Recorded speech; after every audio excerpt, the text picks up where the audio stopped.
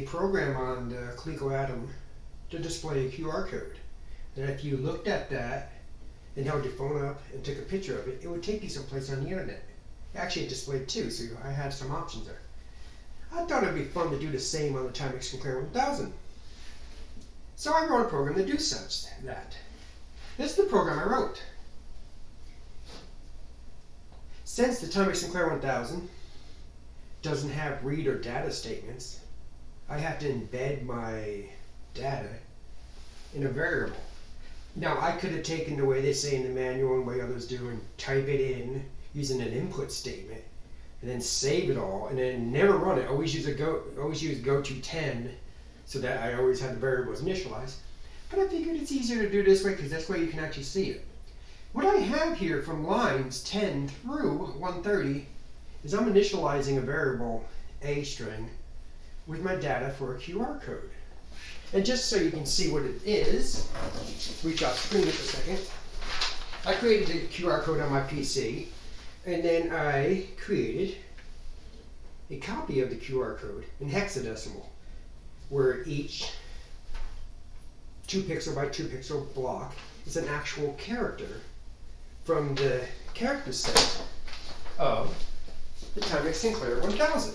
And just so you know what I'm talking about, there is this character set right here.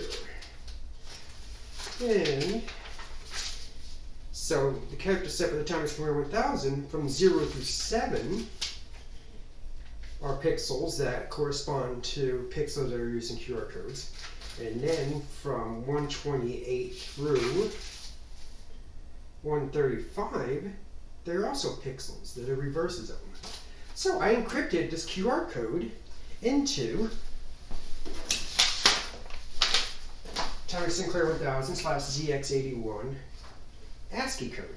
And this is the QR code I encrypted. So now I encrypted that code into this variable and I'm going to iterate through that variable and I'm going to convert it to text uh, data for the screen. What I do is the variable p is my position, so I start on 1 and I just move my way up. I'm using y for my rows, x for my columns. So I read in, if you just look at the loops there, the 4Y loop is 13 loops because it's it's 20, the QR code is 21 pixels by 21 pixels. I had to add some extra padding, so it comes out to 13 lines either way. 13 lines, 13 columns. So I iterate through it. First off, what I do in 230 is I assign the variable a to the code, which is the ASCII value of a dollar sign p to p. So in the case at the beginning of it, I'm assigning the variable a to the ASCII value of the number 7, which is the first position. P to P, if P is 1, then 1 to 1 is 7. So I'm assigning A to that ASCII value, which in the case of, I keep putting the book over here, I should just leave the book here. In the case of the Timex Sinclair 1000, the number 7 is 35.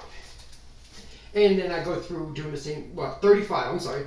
I assign to 35 minus 28, so I bring it down See, the values for the hex values are from 28 through 43 is their codes, their ASCIIs.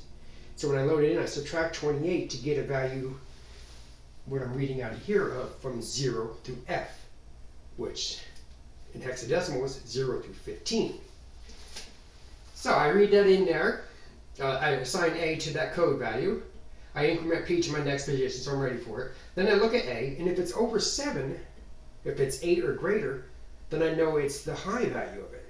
So I add 120 to it to make it A is now either equal to 0 through 7, or 128 through 130, was it 135, I believe? Through 135. Then I just print that on the screen. Then I do the next column, next X. Then if I get to, once I finish X, I print a blank line, or print a carriage, which would actually bring me to the next line. Then I do the next Y, and I do this until the screen is done. Now I'm going to generate this QR code on the screen. And I'm going to fast forward through it so you don't have to watch it, but again, it's not that slow. When it's done, take out your cell phone or your tablet, whatever way you have reading QR codes, Snap a picture of it and see where it takes you to.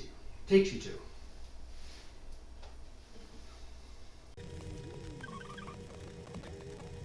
There we go. That's a QR code on uh, ZX81, Timex Sinclair 1000. Like I said, take your cell phone, take your cell phone like this, open up your camera option or whatever way you have of reading QR codes, pointing at the screen, and see where it says it wants to take you.